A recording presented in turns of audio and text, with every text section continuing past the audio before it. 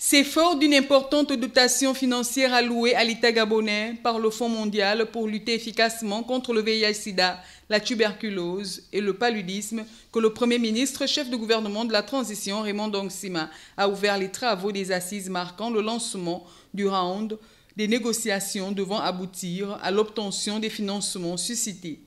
Ce rendez-vous qui témoigne d'une nouvelle dynamique dans notre partenariat concerne la location d'un financement de 5 milliards de francs du Fonds mondial pour nous aider à lutter contre le VIH-Sida, la tuberculose et le paludisme dans les trois prochaines années, dont chacun mesure les effets dévastateurs sur la santé générale de la population avec une corrélation sur le développement économique. Car il existe une causalité évidente entre la santé et les performances économiques.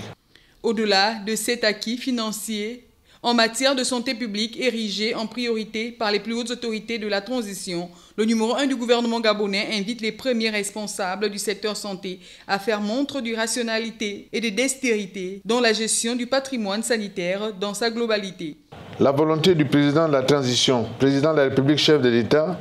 le général de brigade Bliss Clotaire Oligingima, a érigé la santé aux côtés de l'éducation et de la formation comme l'une des plus grandes priorités du pays, particulièrement nécessaire à notre temps où le court et le long terme, le conjoncturel et le structurel s'articulent de façon complémentaire dans le cadre d'une stratégie globale. Cette cérémonie d'ouverture des travaux de réflexion sur les financements de la santé dans notre pays, qui se tient sur deux jours, a permis au patron du gouvernement de la transition de formuler le vœu que celle-ci soit stimulante et fructueuse en termes de perspective.